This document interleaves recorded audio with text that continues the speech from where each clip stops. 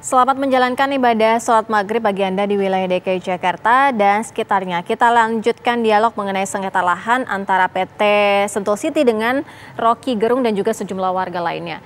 Bu Elsa, sejauh ini artinya kalau dari kedudukan hukum, siapa yang lebih kuat, Rocky Gerung kah atau PT Sentul City? Ya, tentunya untuk siapa yang lebih kuat atau tidaknya itu nanti ada uh, harus ke pengadilan di okay. keputusan ke pengadilan. Okay.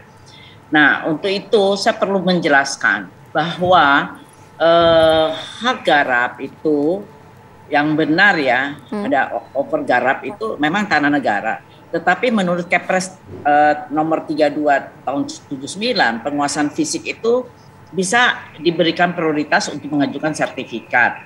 Nah, itu saya tidak tahu apakah Eh, penggarap-penggarap itu pernah uh, sudah pernah mengaju, penga, melakukan pengajuan uh, pembuatan sertifikat atas tanah-tanah yang dikuasai fisik itu secara uh, legal.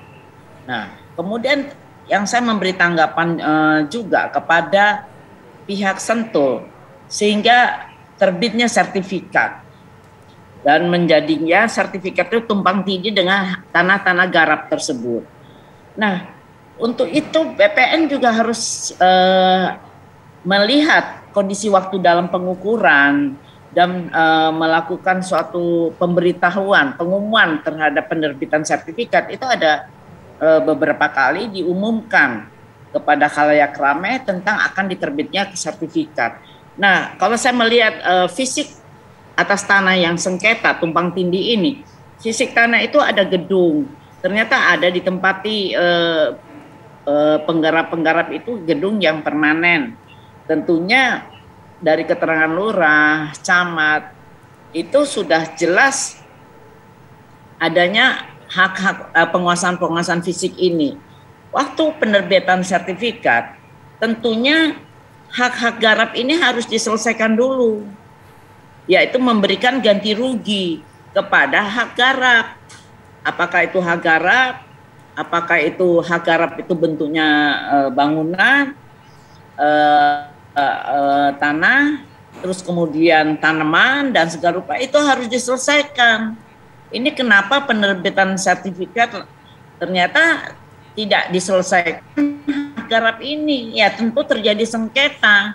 Karena itu saya hmm. bilang uh, harusnya didatangkan, uh, uh, didatangi, ditemui orang-orang yang menguasai fisik ini ya tentunya terjadi sengketa.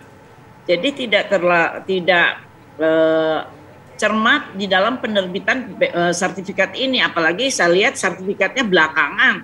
Sedangkan penguasaan fisik ini 1960 sampai iya. penerbitan sertifikat. Jangan uber-uberan terbit sertifikat langsung orang diusir, nggak bisa itu. Tetap nah. harus ada ganti rugi. Iya, Bu Elsa, artinya begini, ketika orang itu sudah sejak 1960 tinggal di sana, kemudian akhirnya oper garapan kepada Rocky Gerung dibeli pada tahun 2009 dengan sah secara AJB dan lain sebagainya.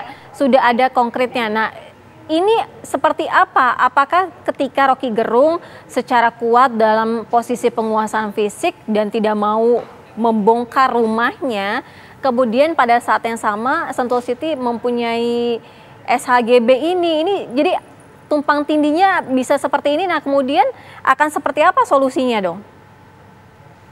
Ya, kalau itu hak garap eh, bagaimana nanti eh, gugatannya eh, kalau ke TUN itu penerbitan sertifikatnya bisa dibatalkan. Ternyata ada cacat yuridis.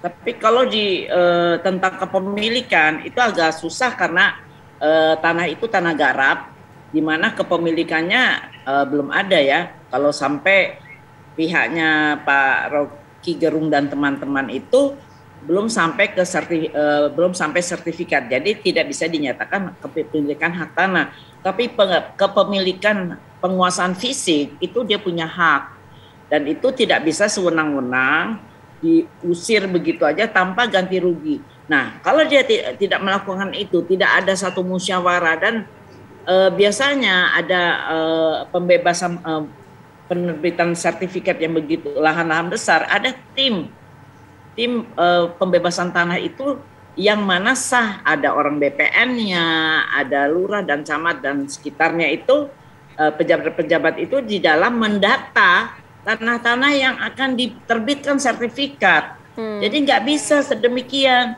terbit pokoknya hitung-hitungan. Nah kan semua mata jelas. Waktu penerbitan sertifikat itu sudah jelas. Ada bangunan, ada tanaman, ada hal-hal yang lain yang di mana uh, penerbitan sertifikat itu jangan sampai cacat yuridis. Kalau ditun itu bisa dibatalkan.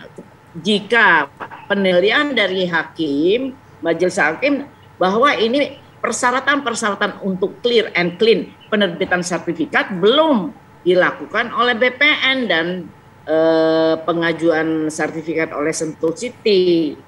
Itu yang harus diketahui. Kecuali beda kalau misalnya eh, sengketa tanah ini tentang kepemilikan itu double eh, sertifikat ganda itu bisa di pengadilan negeri tentang kepemilikan tanah. Tapi kalau pen, uh, pen, uh, pemilikan uh, tanah itu terhadap tanah negara bisa ditunkan. Nah, tentunya kan udah bilang, oh sudah lebih 90 hari di mana penerbitan sertifikat itu sudah lebih dari 90 hari kan nggak bisa ketun tetap bisa karena hmm. uh, mungkin pihak pihak-pihak penggarap ini tidak mengetahui uh, bahwa uh, penerbitan sertifikat kan mereka tidak tahu. Memang kadang-kadang ada satu pelicikan juga uh, terhadap pengusaha-pengusaha properti itu, pokoknya dihantam kromo, ditakuti, dibikin di mis, uh, ya banyak banyak cara saya ngerti banget. Itu bisa semua dibebaskan yang satu harganya kemahalan untuk Baik. pembebasannya. Pembebasan ya saya bilang nggak jual beli. Nah itu di, dibikin jurang lama-lama bangunan itu makin rendah makin rendah sehingga membuat tidak nyaman tinggal di sana Oke, ternyata sengketa lahan ini kan masih menjadi permasalahan serius ya Bu Elsa ya dan juga Pak Taufik. Kita akan Betul. dalami lagi usai kerja, Kerja. Iya, nanti kita akan dalami lagi usai jeda kabar petang pilihan segera kembali.